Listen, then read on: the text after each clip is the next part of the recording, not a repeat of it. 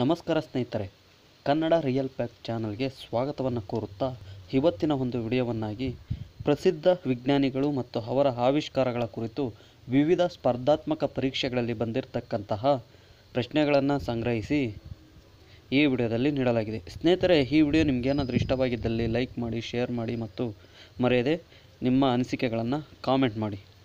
ಬನ್ನಿ, ವಿಡಿಯೋವನ್ನು ಶುರು ಮಾಡೋಣ.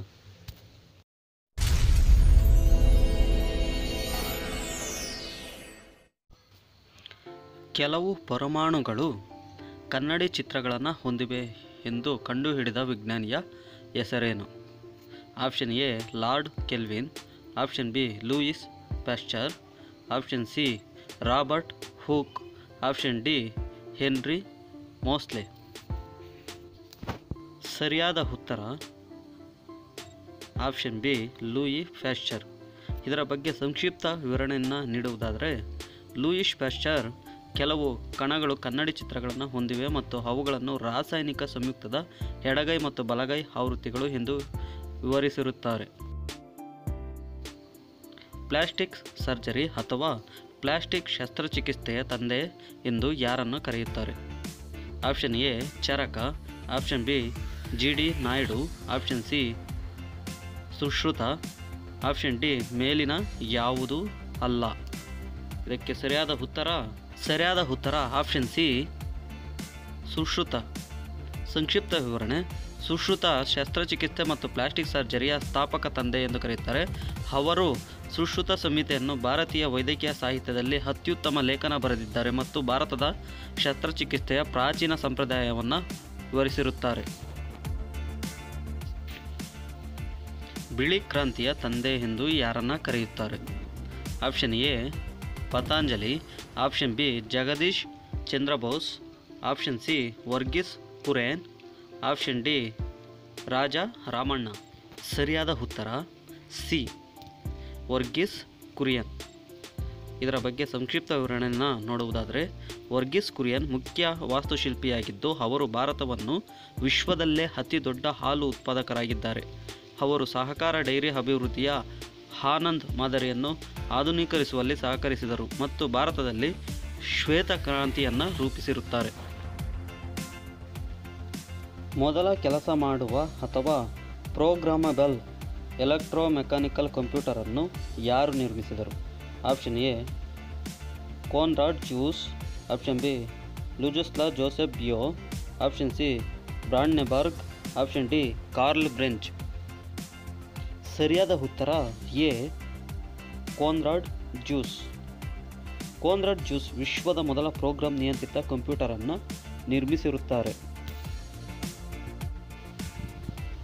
ಹಿರಿಡಿಯಂ ಪದರವನ್ನು ಕಂಡುಹಿಡಿದವರು ಮತ್ತು ಅವರಿಗೆ ನೊಬೆಲ್ ಪ್ರಶಸ್ತಿ ಕೂಡ ದೊರಕಿರುತ್ತದೆ. ಅವರು ಯಾರು?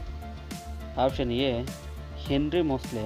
Option B, Pierre Curie. Option C, Santiago Ramon. Option D, Luis Alvarez. ಸರಿಯಾದ ಉತ್ತರ option D, Luis Alvarez. Luis Alvarez iridium ಪದರವನ್ನು ಕಂಡುಹಿಡಿದಿರುತ್ತಾರೆ ಮತ್ತು ಭೂಮಿಯ ಮೇಲೆ ದೊಡ್ಡ ಉಲ್ಕಾಶಿಲೆ ಪರಿಣಾಮದ ನಂತರ ಡೈನೋಸರ್ಗಳು ಯಾವ ರೀತಿಯಲ್ಲಿ ನಾಶವಾದವು ಎಂಬುದಕ್ಕೆ ಅವರು ಸಿದ್ಧಾಂತವನ್ನು ನೀಡಿರುತ್ತಾರೆ. ಸಾವಿರದ ಒಂಬೈನೂರ ಅರವತ್ತೆಂಟರಲ್ಲಿ ಇವರಿಗೆ ಭೌತಶಾಸ್ತ್ರದಲ್ಲಿ ನೊಬೆಲ್ ಪ್ರಶಸ್ತಿ ಕೂಡ ದೊರಕಿರುತ್ತದೆ. ಇನ್ನು ಮುಂದಿನ ಪ್ರಶ್ನೆಯನ್ನು ನೋಡುವುದಾದರೆ ನರ ವಿಜ್ಞಾನದ ತಂದೆ ಎಂದು ಯಾರನ್ನು ಕರೆಯಲಾಗುತ್ತದೆ? Option A, Santiago Ramon Cajal. Option B Alessandro Volta. Option C, Salim Ali option D, ಮೇಲಿನ ಯಾವುದು ಅಲ್ಲ. ಸರಿಯಾದ ಉತ್ತರ, option A, Santiago Ramon y Cajal. ಇದರ ಬಗ್ಗೆ ಸಂಕ್ಷಿಪ್ತ ವಿವರಣೆಯನ್ನು ನೀಡುವುದಾದರೆ, ಸ್ಯಾಂಟಿಯಾಗೋ ರಮನ್ ವೈ ಕಾಜಲ್ ಅವರು ನರವಿಜ್ಞಾನದ ತಂದೆ ಎಂದು ಕರೆಯುತ್ತಾರೆ ಮತ್ತು ಅವರ ನರಕೋಶದ ಸಿದ್ಧಾಂತಕ್ಕಾಗಿ ಸಾವಿರದ ಒಂಬೈನೂರ ಆರರಲ್ಲಿ ಶರೀರ ವಿಜ್ಞಾನ ಅಥವಾ ಔಷಧಕ್ಕಾಗಿ ನೊಬೆಲ್ ಪ್ರಶಸ್ತಿಯನ್ನು ಪಡೆದಿರುತ್ತಾರೆ. ಕಾಪಿ ಫಿಲ್ಟರನ್ನು ಕಂಡುಹಿಡಿದವರು ಯಾರು? Option A, ಅವಿರ್ಲೆ, option B, Wilbur Wright, option C, Melitta Bentz. Option D, Nikola Tesla. ಸರಿಯಾದ ಉತ್ತರ, ಆಪ್ಷನ್ ಸಿ, ಮೆಲಿಟಾ ಬೆಂಚಾ. ಮೆಲಿಟಾ ಬೆಂಚಾ ಕಾಗದದ ಫಿಲ್ಟರ್ ಅನ್ನು ಕೊಳೆಯುತ್ತಿರುವ ಕಾಗದವನ್ನು ಬಳಸಿ ಪತ್ತೆ ಹಚ್ಚಿರುತ್ತಾರೆ. ಸಮುದ್ರ ಶಾಸ್ತ್ರದ ಸ್ಥಾಪಕರು ಯಾರು? Option A, Susumu Tonegawa. Option B Alhazen option C, Karl Landsteiner. Option D Matthew Maury. ಸರಿಯಾದ ಉತ್ತರ option D Matthew Maury. Matthew Maury ಸಮುದ್ರಶಾಸ್ತ್ರದ ತಂದೆ ಎಂದು ಮತ್ತು ತನ್ನ ಜೀವಿತಾವಧಿಯಲ್ಲಿ ಅವನನ್ನು ಸಿಸ್ಪಾತ್ ಫೈಂಡರ್ ಎಂದು ಕರೆಯಲಾಗುತ್ತಿತ್ತು. ಸ್ನೇಹಿತರೆ, ಕೊನೆಯ ಸಾಮಾನ್ಯ ಜ್ಞಾನದ ವಿಡಿಯೋದಲ್ಲಿ ನಿಮಗೆ ಒಂದು ಪ್ರಶ್ನೆಯನ್ನು ಕೇಳಲಾಗಿತ್ತು. ಆ ಪ್ರಶ್ನೆ ಏನು ಮತ್ತು ಅದಕ್ಕೆ ಉತ್ತರ ಏನು ಎಂಬುದನ್ನು ಈಗ ನೋಡೋಣ ಮತ್ತು ಅದಕ್ಕೆ ಯಾರ್ಯಾರು ಸರಿಯಾದ ಉತ್ತರವನ್ನು ನೀಡಿದ್ದಾರೆ ಎಂಬುದನ್ನು ನೋಡೋಣ. ಪ್ರಶ್ನೆ, ಕಾಯಿಗಳನ್ನು ಹಣ್ಣು ಮಾಡಲು ಬಳಸುವ ರಾಸಾಯನಿಕ ಯಾವುದು ಎಂದು ಇತ್ತು. ಇದಕ್ಕೆ ಸರಿಯಾದ ಉತ್ತರ, ಕಾಯಿಗಳನ್ನು ಹಣ್ಣು ಮಾಡಲು ಬಳಸುವ ರಾಸಾಯನಿಕ ಹಿತಲಿನ್ ಇನ್ನು ಮೊದಲು ಯಾರು ಸರಿಯಾದ ಉತ್ತರವನ್ನು ನೀಡಿದ್ದಾರೆ ಎಂಬುದನ್ನು ನೋಡೋಣ. ಮೊದಲು ಸರಿಯಾದ ಉತ್ತರವನ್ನು ನೀಡಿರ್ತಕ್ಕಂಥವರು ಮುನೇಶ್, ಎಸ್. ಮತ್ತು ನಮ್ಮ ಹಿಂದಿನ ವಿಡಿಯೋದಲ್ಲಿ ಒಂದು ಪ್ರಶ್ನೆಗೆ ಉತ್ತರವು ತಪ್ಪಾಗಿತ್ತು. ಅದು India divided book return by doctor Babu Rajendra Prasad ಎಂಬತಕ್ಕಂಥದ್ದನ್ನು Anand Raj, S. ಎಂಬತಕ್ಕಂಥವರು ತಿಳಿಸಿರ್ತಾರೆ. ಇದನ್ನು ನಾವು ಡಿಸ್ಕ್ರಿಪ್ಷನ್ನಲ್ಲಿ ಬರೆಯಲಾಗಿರುತ್ತದೆ. ಆನಂದ್ ರಾಜ್, ಎಸ್. ರವರಿಗೆ ಧನ್ಯವಾದಗಳನ್ನು ತಿಳಿಸುತ್ತಾ, ತಿಮ್ಮಣ್ಣ, ಹಸನಪ್ಪ ಎಂಬತಕ್ಕಂಥವರು ಸರಿಯಾದ ಉತ್ತರವನ್ನು ನೀಡಿರ್ತಾರೆ. ಮತ್ತು ಕವಿರಾಜ್ ಎಚ್ ಎಂಬತಕ್ಕಂಥವರು ಸರಿಯಾದ ಉತ್ತರವನ್ನು ನೀಡಿರ್ತಾರೆ. ಅದೇ ರೀತಿಯಲ್ಲಿ ನಮ್ಮನ್ನು ಪ್ರೋತ್ಸಾಹಿಸಿ ಶಿವಶಂಕರ್ ಎಂಬತಕ್ಕಂಥವರು ಕಾಮೆಂಟನ್ನು ಮಾಡಿರ್ತಾರೆ. ಉತ್ತರವನ್ನು ನೀಡಿದ ಎಲ್ಲರಿಗೂ ಧನ್ಯವಾದಗಳನ್ನು ತಿಳಿಸುತ್ತಾ, ಸ್ನೇಹಿತರೆ, ನಿಮ್ಮ ಸಾಮಾನ್ಯ ಜ್ಞಾನವನ್ನು ತಿಳಿಯಲು ಈ ವಿಡಿಯೋದಲ್ಲಿಯೂ ಒಂದು ಪ್ರಶ್ನೆ ಇರುತ್ತದೆ. ಉತ್ತರವನ್ನು ಕಾಮೆಂಟ್ ಬಾಕ್ಸ್ನಲ್ಲಿ ಬರೆಯಿರಿ. ಉತ್ತರವನ್ನು ಅಷ್ಟಲ್ಲದೆ ನಿಮ್ಮ ಅನಿಸಿಕೆಗಳನ್ನು ಸಹ ಕಾಮೆಂಟ್ ಬಾಕ್ಸ್ನಲ್ಲಿ ಬರೆಯಬಹುದು. ನಿಮ್ಮ ಅನಿಸಿಕೆಗಳು ಮತ್ತು ಉತ್ತರವನ್ನು ನಮ್ಮ ಮುಂದಿನ ವಿಡಿಯೋದಲ್ಲಿ ಯಾರು ಸರಿಯಾದ ಉತ್ತರವನ್ನು ನೀಡಿರ್ತಾರೋ ಅಂಥವರನ್ನು, ಹೆಸರನ್ನು ಮುಂದಿನ ವಿಡಿಯೋದಲ್ಲಿ ತಿಳಿಸ್ಕೊಡಲಾಗುತ್ತದೆ. ಈ ಸಾಮಾನ್ಯ ಜ್ಞಾನದ ಪ್ರಶ್ನೆ ಎಂದರೆ, ಯಾರು ಟಿ ವಿ ಪ್ರತಿ ಜೀವಕ ಅಥವಾ ಆಂಟಿಬಯೋಟಿಕ್ ಸ್ಟ್ರಪ್ಟೋಮೈಸಿನ್ ಅನ್ನು ಕಂಡುಹಿಡಿದಿದ್ದಾರೆ? Option A, Joseph Lagrange. Option B, Selman Waksman. Option C, Linda Buck. Option D, James Croll. ಸ್ನೇಹಿತರೆ, ಇದಕ್ಕೆ ಸರಿಯಾದ ಉತ್ತರವನ್ನು ಕಾಮೆಂಟ್ ಬಾಕ್ಸ್ನಲ್ಲಿ ಬರೆಯಿರಿ. ಸ್ನೇಹಿತರೆ, ಇನ್ನು ಲಾಜಿಕ್ ವಿಭಾಗವನ್ನು ನೋಡೋಣ.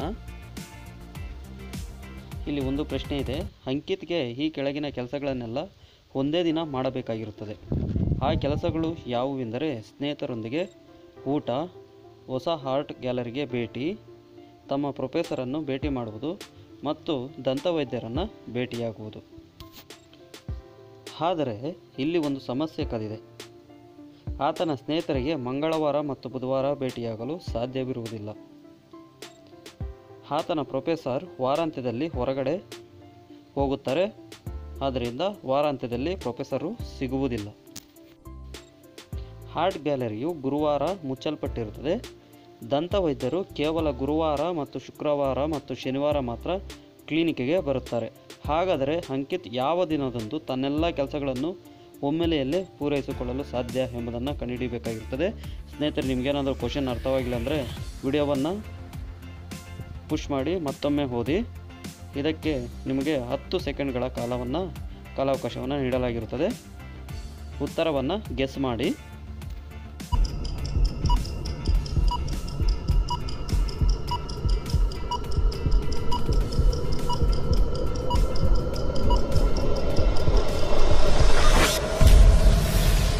ಸರಿಯಾದ ಉತ್ತರ, ಅಂಕಿತ್ ತನ್ನೆಲ್ಲ ಕೆಲಸಗಳನ್ನು ಮುಗಿಸಲು ಸರಿಯಾದ ವಾರವೆಂದರೆ ಶುಕ್ರವಾರ. ಇನ್ನು ನಮ್ಮ ಸಬ್ಸ್ಕ್ರೈಬರ್ಸ್ ಎರಡು ಪ್ರಶ್ನೆಗಳನ್ನು ನಮಗೆ ಕೇಳಿರ್ತಾರೆ. ಅದು ಏನೆಂದರೆ, ಏರ್ ಕಂಡೀಷನ್ನ ಹಿಂಭಾಗದಲ್ಲಿ ನೀರಿನ ಹನಿ ಏಕೆ ಸುರಿಯುತ್ತದೆ ಎಂಬತಕ್ಕಂಥ ಪ್ರಶ್ನೆನ ಕೇಳಿರ್ತಾರೆ. ಇದಕ್ಕೆ ಉತ್ತರವನ್ನು ನೋಡೋಣ. ವಾತಾವರಣದಲ್ಲಿ ಗಾಳಿ ಒಣಗಿದ್ದರೆ ನಮ್ಮ ಬೆವರು ಬೇಗನೆ ಒಣಗುತ್ತದೆ. ಗಾಳಿಯಲ್ಲಿ ತೇವಾಂಶ ಬಿದ್ದರೆ ಬೆವರು ಹಾವಿಯಾಗದೆ ನಮ್ಮ ತುಂಬ ಸೆಕೆ ಅನಿಸುತ್ತದೆ. ಏರ್ ಕಂಡೀಷನರ್ ಗಾಳಿಯಲ್ಲಿ ತಂಪು ಮತ್ತು ಸ್ವಚ್ಛಗೊಳಿಸುವುದು ಮಾತ್ರವಲ್ಲದೆ ಅದನ್ನು ಒಣಗಿಸುವ ಕೆಲಸವನ್ನೂ ಮಾಡುತ್ತದೆ. ನೀವು ಮಂಜುಗಡ್ಡೆ ಇರುವ ತಂಪು ನೀರನ್ನು ಟೇಬಲ್ ಮೇಲೆ ತಂದಿಟ್ಟರೆ ಲೋಟದ ಹೊರಗಡೆ ನೀರಿನ ಹಾನಿಗಳು ಮೂಡುತ್ತವೆ. ಇದಕ್ಕೆ ಕಾರಣ ತಂಪು ಗಾಜಿನ ಸಂಪರ್ಕಕ್ಕೆ ಬಂದ ನೀರು ಗಾಳಿಯಿಂದ ಹಾವಿಯಾಗುತ್ತದೆ.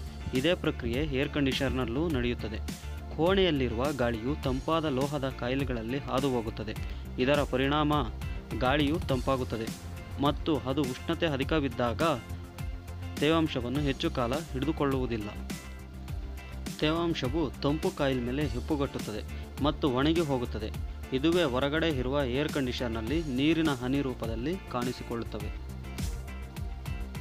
ಹಿಮಾಲಯ ಪರ್ವತ ಅಥವಾ ಹಿಮಪದರವು ಯಾವಾಗಲೂ ಶ್ವೇತವರ್ಣದಲ್ಲಿ ಅಥವಾ ಬಿಳಿ ಬಣ್ಣದಲ್ಲಿಯೇ ಏಕೆ ಕಾಣುತ್ತದೆ ಎಂಬತಕ್ಕಂಥ ಪ್ರಶ್ನೆಯನ್ನು ಕೇಳಿರ್ತಾರೆ. ಇದಕ್ಕೆ ಸರಿಯಾದ ಉತ್ತರವನ್ನು ನೋಡೋಣ. ಸ್ನೇಹಿತರೆ, ಈ ಪ್ರಶ್ನೆಗೆ ನಾವು ಎರಡು ರೀತಿಯಲ್ಲಿ ಉತ್ತರಿಸಬಹುದು. ಮೊದಲನೆಯದು ಬಣ್ಣದ ಸಿದ್ಧಾಂತ ಮತ್ತು ಎರಡನೆಯದು ವಕ್ರೀಭವನ. ಈಗ ವಕ್ರೀಭವನವನ್ನು ನೋಡೋಣ. ವಸ್ತುವಿನಿಂದ ಮತ್ತೊಂದು ವಸ್ತುವಿಗೆ ಬೆಳಕು ಹೋದಂತೆ ಬೆಳಕಿನ ದಿಕ್ಕಿನಲ್ಲಿ ಬದಲಾವಣೆಯು ವಕ್ರೀಭವನವಾಗಿದೆ. ಬೆಳಕು ವೇಗದಲ್ಲಿ ಸ್ವಲ್ಪ ಬದಲಾವಣೆಯಿಂದ ಮತ್ತು ಸ್ಟ್ರಾಗಳು ನೀರಿನಲ್ಲಿ ಬಾಗುತ್ತದೆ ಎಂಬುದನ್ನು ವಿವರಿಸುತ್ತದೆ. ಬೆಳಕು ಹಿಮ್ಮುಖ ಪ್ರವೇಶಿಸಿದಾಗ ಅದು ಪುನರಾವರ್ತಿಸುತ್ತದೆ. ಏಕೆಂದರೆ ಹಿಮವು ಬಹಳಷ್ಟು ಐಸ್ ಹರಳುಗಳಿಂದ ಒಟ್ಟಿಗೆ ಜೋಡಿಸಲ್ಪಟ್ಟಿರುತ್ತದೆ. ಈ ಹರಳುಗಳು ಅರೆ ಪಾರದರ್ಶಕವಾಗಿರುತ್ತವೆ. ಇನ್ನು ಎರಡನೆಯ ಅಂಶವನ್ನು ನೋಡುವುದಾದರೆ, ಸಂಯೋಜಿತ ಬಣ್ಣ ಮಿಶ್ರಣವು ನಮಗೆ ಬಣ್ಣಗಳ ಆವರ್ತನಗಳನ್ನೆಲ್ಲ ಸಂಯೋಜಿಸಿದರೆ ನಾವು ಬಿಳಿ ಬೆಳಕನ್ನು ಪಡೆಯುತ್ತೇವೆ ಎಂದು ಹೇಳುತ್ತದೆ. ಹಿಮದ ಮೇಲೆ ಬೆಳಕು ಬಿದ್ದಾಗ ಅದು ವಿವಿಧ ಆವರ್ತನಗಳ ಮಿಶ್ರಣವನ್ನು ಹೊಂದಿದೆ. ಅವು ಎಲ್ಲ ಐಸ್ ಸ್ಫಟಿಕಗಳಿಂದ ಪ್ರವೇಶಿಸಿದಾಗ ಸ್ವಲ್ಪ ಭಿನ್ನವಾಗಿರುತ್ತವೆ. ವಕ್ರೀಭವನದ ಕಾರಣದಿಂದಾಗಿ ಬೆಳಕು ಹಿಮದ ಮೇಲ್ಮೈಯನ್ನು ಎಲ್ಲ ದಿಕ್ಕುಗಳಲ್ಲಿ ಬಿಡುತ್ತದೆ ಮತ್ತು ನಮ್ಮ ಕಣ್ಣುಗಳನ್ನು ಒಡೆಯುತ್ತದೆ. ಈ ಬೆಳಕು ನಮ್ಮ ಕಣ್ಣುಗಳು ಬಿಳಿ ಬೆಳಕನ್ನು ಪತ್ತೆ ಮಾಡುವ ಆವರ್ತನಗಳ ಮಿಶ್ರಣದಿಂದ ಸಂಯೋಜಿತವಾಗಿರುತ್ತದೆ. ಸ್ನೇಹಿತರೆ, ಇವಿಷ್ಟು ಈ ವಿಡಿಯೋದ ಸಾಮಾನ್ಯ ಜ್ಞಾನದ ಪ್ರಶ್ನೋತ್ತರಗಳಾಗಿರುತ್ತವೆ. ಸ್ನೇಹಿತರೆ, ನಿಮಗೇನಾದರೂ ಈ ವಿಡಿಯೋ ಇಷ್ಟವಾಗಿದ್ದಲ್ಲಿ ಲೈಕ್ ಮಾಡಿ, ಶೇರ್ ಮಾಡಿ ಮತ್ತು ಕೊನೆಯದಾಗಿ ಸಬ್ಸ್ಕ್ರೈಬ್ ಮಾಡುವುದನ್ನು ಮರೆಯಬೇಡಿ. ಸ್ನೇಹಿತರೆ, ನಿಮಗೆ ಈ ವಿಡಿಯೋದ ಬಗ್ಗೆ ನಿಮ್ಮ ಅನಿಸಿಕೆಗಳನ್ನು ಕಾಮೆಂಟ್ ಬಾಕ್ಸ್ನಲ್ಲಿ ತಿಳಿಸಬಹುದು ಮತ್ತು ಈ ಸರಿಯಾದ ಉತ್ತರವನ್ನು ಯಾರು ನೀಡಿರ್ತಾರೋ ಅಂಥವರ ಹೆಸರನ್ನು ನಮ್ಮ ಮುಂದಿನ ವಿಡಿಯೋದಲ್ಲಿ ಪ್ರಕಟಿಸಲಾಗುತ್ತದೆ. ಧನ್ಯವಾದಗಳು.